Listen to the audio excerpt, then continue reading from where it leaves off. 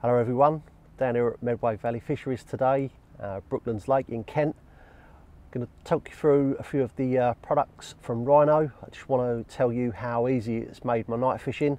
For those of you that know me, I mainly do short night sessions, so either overnighters during the week or on a Friday night, um, packing up on Saturday morning. So most of my capture at night. So these products really make my fishing easy, in particular nighttime photography.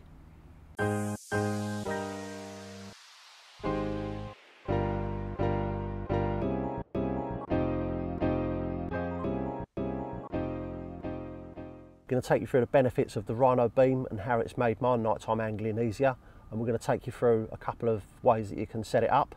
As you can see here I've got it attached to a storm pole or bank stick which is just to press in the ground when you've got that nighttime catcher.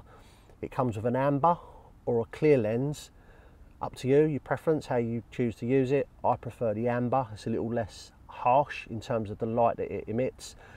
Simple on off switch and the dial on the side to increase or decrease your light um, and it literally does light up the swim and it makes it so much easier.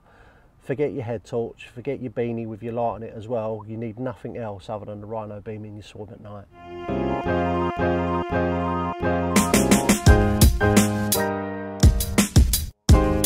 Right so let's take a look at the beanie.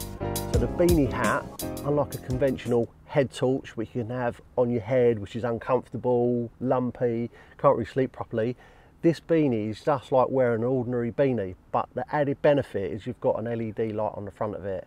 It's got three different settings, so three different brightnesses. So it's not a case of fumbling around for your head torch, taking it off your wrist or off your head when you've got that nighttime bite. You just simply depress the black button in the center of the, the hat there and you've got light. So really simple and effective product that's made my nighttime fishing that much easier.